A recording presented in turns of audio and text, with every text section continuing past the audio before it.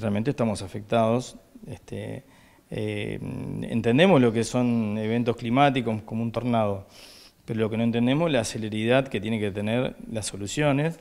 O cuando hay una alta demanda, eh, hay eh, baja tensión, se rompen muchos artefactos eléctricos que todos los años renovamos y este, no hay un sistema simple para generar los reclamos de parte del responsable, que es la empresa provincial de energía, por ejemplo, eso nos afecta muchísimo. Ni hablar de cuando ya el problema pasa por personas, este, niños o chiquitos o gente mayor que viene a disfrutar y con los grados, con las temperaturas que, que, tuvimos sufriendo de 45 grados de promedio, tuvimos picos de 47 y 48 y, y sin aire acondicionado, es realmente ya eso linda, sin ser traumático ni trágico, pero linda con la responsabilidad eh, social o humana.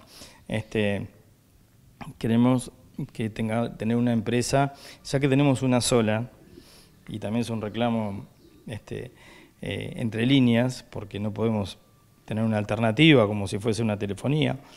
Este, bueno, que se pongan a la altura del 2022. No podemos tener eh, una estructura antigua con un país moderno y una provincia que reclama este, necesidades como la, el servicio eléctrico a la altura de las circunstancias. Ayer se sufrieron cortes toda la noche este, y no hubo ningún temporal. No podemos reemplazar una red eléctrica con un villita que nos da un poquito de KBA en nuestras cabañas. No podemos solventar. Hay, hay empresas que tienen 30, 40 aire acondicionados. Este, ¿Con qué lo reemplazas? por más que te, tengas inversiones, que las tenemos, las tenemos, pero es primeros auxilios. Si tenemos demanda eléctrica, bueno, pongamos las soluciones para que estemos abastecidos, lo que, porque eh, la factura de luz viene todos los meses, aunque no consumas, tenés un derecho de consumo.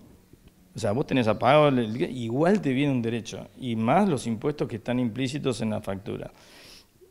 O sea, es un mecanismo para recaudar, es un mecanismo para ganar dinero, es un ente autárquico que tiene que estar a la altura de las circunstancias.